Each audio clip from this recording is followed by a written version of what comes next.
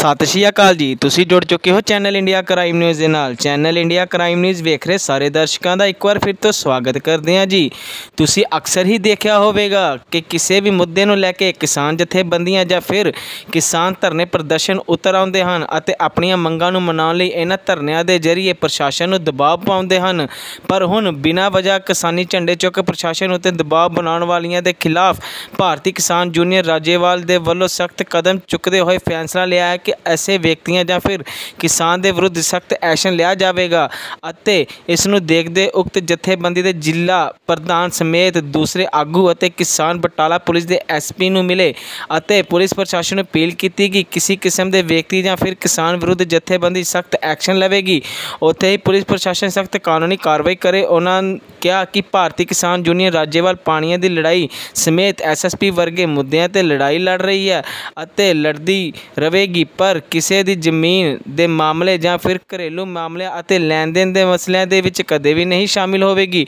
ਉਹਨਾਂ ਨੇ ਕਿਹਾ, ਕਿਸਾਨੀ ਝੰਡੇ ਚੁੱਕ ਧਰਨੇ ਪ੍ਰਦਰਸ਼ਨ ਕਰਕੇ ਪ੍ਰਸ਼ਾਸਨ ਅਤੇ ਜਨਤਾ ਨੂੰ ਖਰਾਬ ਕਰਨ ਵਾਲੇ ਦੇ ਜਥੇਬੰਦੀ ਕਦੇ ਵੀ ਸਾਥ ਨਹੀਂ ਦੇਵੇਗੀ। ਜਥੇਬੰਦੀ ਉਹ ਬਟਾਲਾ ਪੁਲਿਸ ਦੇ ਐਸਪੀ ਗੁਰਪ੍ਰੀਤ ਸਿੰਘ ਨੇ ਦੱਸਿਆ ਕਿ ਉਕਤ ਜਥੇਬੰਦੀ ਆਗੂ ਮਿਲਣ ਆਏ ਸੀ ਅਤੇ ਉਹਨਾਂ ਵੱਲੋਂ ਪੁਲਿਸ ਪ੍ਰਸ਼ਾਸਨ ਨੂੰ ਅਪੀਲ ਕੀਤੀ ਹੈ ਕਿ ਬਿਨਾਂ ਵਜ੍ਹਾ ਕਿਸਾਨੀ ਝੰਡੇ ਚੁੱਕ ਜਾਂ ਫਿਰ ਕਿਸਾਨ ਜਥੇਬੰਦੀਆਂ ਦੇ ਨਾਮ ਵਰਤ ਕੇ ਪ੍ਰਸ਼ਾਸਨ ਦੇ ਉੱਤੇ ਦਬਾਅ ਬਣਾਉਣ ਵਾਲੇ ਜਥੇਬੰਦੀਆਂ ਦਾ ਨਾਂ ਵਰਤ ਕੇ ਬਿਨਾਂ ਵਜ੍ਹਾ ਧਰਨੇ ਲਾਉਣ ਵਾਲਿਆਂ ਦੇ ਖਿਲਾਫ ਸਖਤ ਕਾਰਵਾਈ ਕੀਤੀ ਜਾਵੇ। ਇਸ ਮਾਮਲੇ ਦੀ ਜਥੇਬੰਦੀ ਵੀ ਪੁਲਿਸ ਪ੍ਰਸ਼ਾਸਨ ਦੇ ਹੱਕ ਵਿੱਚ ਖੜੇਗੀ। ਬਟਾਲਾ ਤੋਂ ਪੱਤਰਕਾਰ ਅਖਿਲ ਮਲਹੋਤਰਾ ਦੇ ਨਾਲ ਦੀਪਕ ਕੁਮਾਰ ਤੇ ਲੱਕੀ ਭਾਟੀਆ ਦੀ ਖਾਸੀ ਰਿਪੋਰਟ। ਮਿਲਦੀ ਹੈ ਜੀ ਅਗਲੀ ਖਬਰ ਦੇ ਨਾਲ। ਧੰਨਵਾਦ। ਪਿਛਲੇ ਹਫ਼ਤੇ ਕੋਈ ਇੱਥੇ ਐਫ ਆਈ ਆਰ ਦਰਜ ਹੋਈ ਸੀ ਜਿਹਦੇ ਵਿੱਚ ਭਾਰਤੀ ਕਿਸਾਨ ਯੂਨੀਅਨ ਦੇ ਝੰਡੇ ਬੈਗ ਤੇ ਹੋਰ ਸਮੱਗਰੀ ਲੈ ਕੇ ਇੱਥੇ ਪੁਲਿਸ ਪ੍ਰਸ਼ਾਸਨ ਕੋਲ ਪਹੁੰਚੇ ਸੀ। ਕੋਈ ਸ਼ਰਾਰਤੀ ਅੰਸਰ ਜਾਂ ਕੋਈ ਵੀ ਕਹਿ ਲਓ। ਉਹਦੀ ਨਾ ਤਾਂ ਸਾਨੂੰ ਜ਼ਿਲ੍ਹੇ ਵਾਲਿਆਂ ਨੂੰ ਕੋਈ ਜਾਣਕਾਰੀ ਸੀ ਨਾ ਹੀ ਪੰਜਾਬ ਦੀ ਟੀਮ ਨੂੰ ਕੋਈ ਜਾਣਕਾਰੀ ਸੀ। ਔਰ ਜਦੋਂ ਰਾਜੇਵਾਲ ਸਾਹਿਬ ਨੂੰ ਫੋਨ ਗਿਆ ਤੇ ਉਹਨਾਂ ਨੇ ਮੇਰੀ ਡਿਊਟੀ ਲਗਾਈ ਕਿ ਤੁਸੀਂ ਪ੍ਰਧਾਨ ਜੀ ਆਪਣੀ ਟੀਮ ਲੈ ਕੇ ਖੁਦ ਪੁਲਿਸ ਡਿਪਾਰਟਮੈਂਟ ਨੂੰ ਮਿਲ ਕੇ ਆਓ। ਤਾਂ ਟਾਈਮ ਤੇ ਅੱਜ ਮੈਡਮ ਨੇ ਸਾਨੂੰ ਦਿੱਤਾ ਹੋਇਆ ਸੀ ਐਸਐਫਸੀ ਸਾਹਿਬ ਨੇ। ਪਰ ਉਹਨਾਂ ਦਾ ਕੋਈ ਰੁਝੇਵਾਂ ਸੀ ਇੱਥੇ ਸ਼ਹਿਰ ਵਿੱਚ ਜਿਹੜਾ ਵਾਕਿਆ ਵਰਤਿਆ ਉਹਦਾ ਕਰਕੇ ਉਹ ਬਿਜ਼ੀ ਸੀ। ਉਹਨਾਂ ਨੇ ਸਰਦਾਰ ਗੁਰਪ੍ਰੀਤ ਸਿੰਘ ਗਿੱਲ ਦੀ ਡਿਊਟੀ ਲਾਈ। ਤਾਂ ਉਹਨਾਂ ਦੇ ਨਾਲ ਸਾਡੇ ਡੂੰਘੇ ਵਿਚਾਰ ਹੋਏ ਨੇ ਕਿ ਤੁਸੀਂ ਜਿਹੜਾ ਵੀ ਉਮੀਦ, ਕੋਈ ਵੀ ਸ਼ਖਸ ਇੱਥੇ ਆਉਂਦਾ, ਕਿਸੇ ਉੱਪਰ ਕੋਈ ਦਬਾਅ ਪੜਾਉਂਦਾ, ਖਾਸ ਕਰਕੇ ਰਾਜੇਵਾਲ ਯੂਨੀਅਨ ਦਾ, ਉਹ ਆ ਕੇ ਕਹਿੰਦਾ, ਮੈਂ ਯੂਨੀਅਨ ਦਾ ਵਰਕਰ ਆ ਜਾਂ ਕੋਈ ਵੀ ਆ। ਤਾਂ ਉਹਨਾਂ ਨੂੰ ਇਹ ਸਖਤ, ਅਸੀਂ ਰਾਜੇਵਾਲ ਸਾਹਿਬ ਵੱਲੋਂ ਇਹ ਹਦਾਇਤ ਕੀਤੀ ਆ ਕਿ ਰਾਜੇਵਾਲ ਸਾਹਿਬ ਜੀ ਦਾ ਇਹ ਹੁਕਮ ਆ ਕਿ ਜਿਹੜਾ ਵੀ ਆਉਂਦਾ ਉਹਦਾ ਪਹਿਲਾਂ ਤਾਂ ਜੇ ਬਲਾਕ ਚੋਂ ਆਉਂਦਾ ਤਾਂ ਬਲਾਕ ਪ੍ਰਧਾਨ ਦੇ ਕੋਲ ਜਾਣਕਾਰੀ ਹੋਣੀ ਜ਼ਰੂਰੀ ਆ। ਤਾਂ ਜੇ ਬਲਾਕ ਪ੍ਰਧਾਨ ਦੇ ਕੋਲ ਨਹੀਂ ਜਾਣਕਾਰੀ ਫਿਰ ਉਹ ਜ਼ਿਲ੍ਹੇ ਦੇ ਨਾਲ ਜਾਂ ਉਹ ਪੰਜਾਬ ਦੀ ਟੀਮ ਨਾਲ ਗੱਲ ਕਰੇ। ਕਿ ਮੇਰਾ ਇਹ ਮਸਲਾ ਗੱਲ ਕਰੋ ਕਿਉਂਕਿ ਸਾਡਾ ਕਿਸੇ ਦੀ ਜ਼ਮੀਨ ਨਾਲ ਕਿਸੇ ਦੇ ਮਕਾਨ ਤੇ ਕਿਸੇ ਦੇ ਨਾਲ ਕਬਜ਼ੇ ਕਰਾਉਣਾ ਕੋਈ ਸਾਡਾ ਇਹ ਯੂਨੀਅਨ ਦਾ ਕਾਨੂੰਨ ਨਹੀਂ ਹੈਗਾ। ਜੋ ਸਾਡੇ ਯੂਨੀਅਨ ਦੇਖਦਾ ਰਿਹਾ ਸਾਡੀਆਂ ਲੜਾਈਆਂ ਵਾ ਪਾਣੀਆਂ ਦੀਆਂ। ਅਸੀਂ ਪਾਣੀਆਂ ਦੇ ਮੁੱਦੇ ਤੇ ਲੜਾਈ ਲੜਾਂਗੇ। ਹੋਰ ਅਨੇਕਾਂ ਹੀ ਇਹੋ ਜੀਆਂ ਲੜਾਈਆਂ ਵਾ ਐਮਐਸਪੀ ਤੇ ਲੜਾਈ ਲੜਾਂਗੇ, ਕਰਜ਼ੇ ਮਾਫੀ ਤੇ ਲੜਾਈ ਲੜਾਂਗੇ। ਬਲਕਿ ਅਸੀਂ ਝੰਡੇ ਚੁੱਕ ਕੇ ਤਾਂ ਬਿਨਾਂ ਸਾਡੇ ਜਿਹੜੀ ਆ ਜ਼ਿਲ੍ਹੇ ਦੀ ਟੀਮ ਜਾਂ ਪੰਜਾਬ ਦੀ ਸਾਡੀ ਕਰੀਮ ਆ, ਉਹਦੀ ਬਿਨਾਂ ਜਾਣਕਾਰੀ ਤੋਂ ਜਿਹੜਾ ਵੀ ਉਮੀਦਵਾਰ ਝੰਡੇ ਬੈਚ ਲਾ ਕੇ ਕਿਸੇ ਦਫ਼ਤਰ ਵਿੱਚ ਜਾਊਗਾ ਅਸੀਂ ਇਹ ਬੇਨਤੀ ਕਰਦੇ ਹਾਂ ਕਿ ਉਹਦੇ ਵਿਰੁੱਧ ਉਸੇ ਵੇਲੇ ਹੀ ਕਾਰਵਾਈ ਕੀਤੀ ਜਾਵੇ।